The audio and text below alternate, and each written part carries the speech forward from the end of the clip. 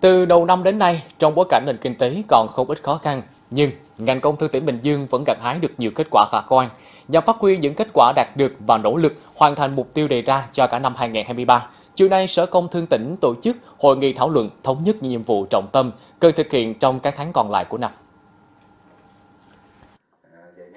Tại hội nghị, các cán bộ, công nhân viên ngành công thương tỉnh quyết tâm tích cực đổi mới tư duy, cách làm, không né tránh và sáng tạo trong quản lý, điều hành để đạt được hiệu quả thực chất. Một số nhiệm vụ quan trọng mà ngành sẽ tập trung thực hiện trong hai quý còn lại của năm 2023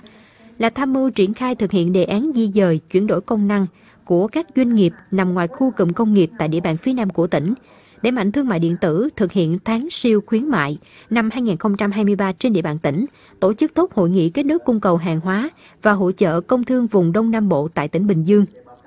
Cùng với các ngành tiếp tục tháo gỡ khó khăn cho doanh nghiệp xuất nhập khẩu và xác định các giải pháp cần triển khai để sớm tận dụng cơ hội từ hiệp định EVFTA,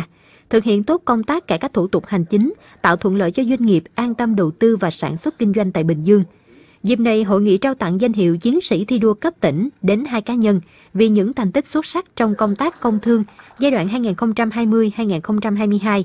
Sở Công Thương tặng giấy khen cho 6 cá nhân tập thể có nhiều đóng góp trong công tác cải cách hành chính của đơn vị.